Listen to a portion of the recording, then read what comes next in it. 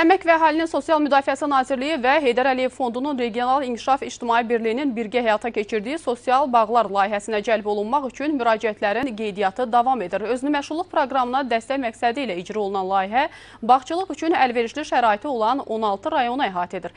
Həmin rayonlarda mülkiyyətində kənd təsərrüfatına yararlı pay torpağı olub, digər məşğulluğu olmayan şəxslər qeydiyyatdan keçmək üçün müvafiq ərazi məşğulluq mərkəzinə müraciət edə bilərlər. Daxil olan müraciətlər əsasında 250 az təminatlı ailə seçilərək ilk növbədə onlara məxsus torpaq sahələrində monitorinqlər aparılacaq.